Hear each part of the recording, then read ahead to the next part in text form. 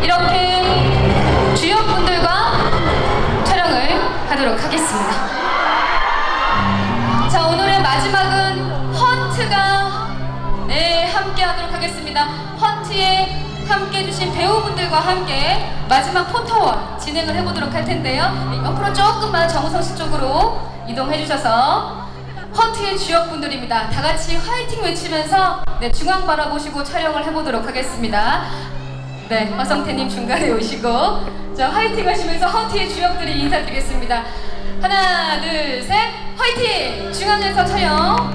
네, 중앙 바라봐 주시고요. 자, 살짝 틀어서 왼쪽도 한번 바라봐 주시겠습니다. 왼쪽. 자, 하나, 둘, 셋, 화이팅! 네, 고맙습니다.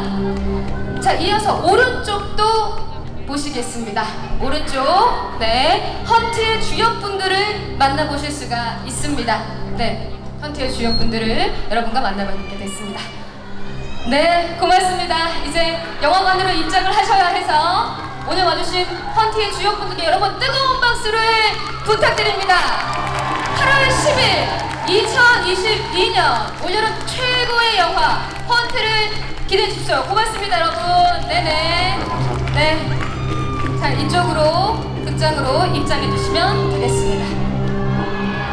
네, 고맙습니다. 함께 해주신 정우성 씨 그리고 이정재 감독님께도 진심으로 감사를 드리겠고요.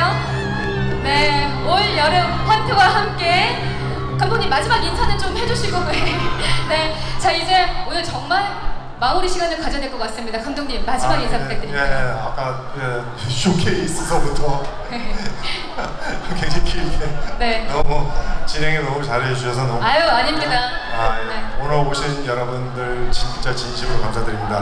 헌트 많은 기대와 사랑 부탁드리겠습니다. 여러분 감사합니다. 이정재 감독님이었습니다. 큰 박수 부탁드립니다. 고맙습니다.